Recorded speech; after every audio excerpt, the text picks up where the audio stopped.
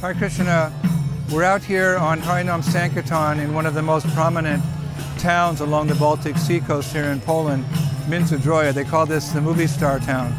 We came here to share Krishna consciousness with the people.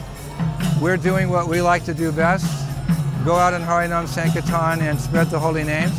As we've said before, this is a perfect formula for introducing people to Krishna consciousness. It's a formula that was introduced by the Lord himself 500 years ago, Sri Chaitanya Mahaprabhu. He would take his devotees out every morning, evening, and, and chant the holy names and dance in ecstasy, and basically show that uh, spiritual life is meant to be very joyful. In the Bhagavad Gita, Krishna confirms this. He said, this process of Krishna consciousness, this dharma, uh, this is uh, joyfully performed.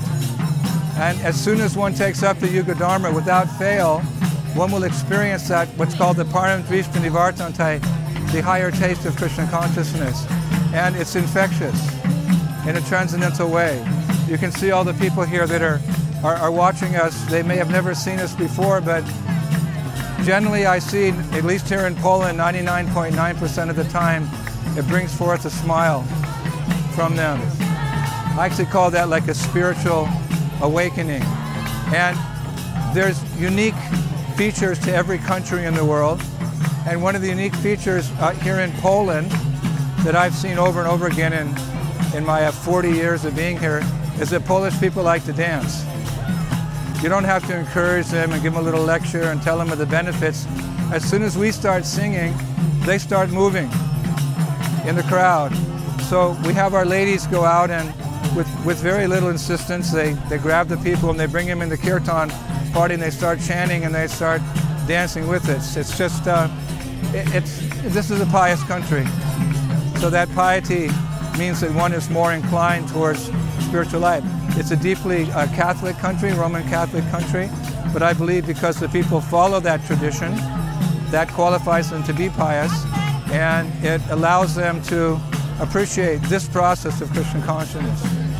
So we love to come out here and sing and dance with the people.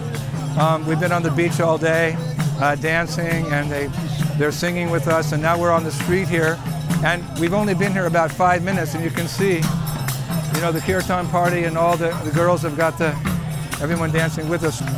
So if we come out here as a movement around the world on a daily basis and we give the people this impression, this first impression that spiritual life is joyful, especially when you're chanting the holy names of Krishna, Yuga Dharma. So let's go. Let's see what the people have to say.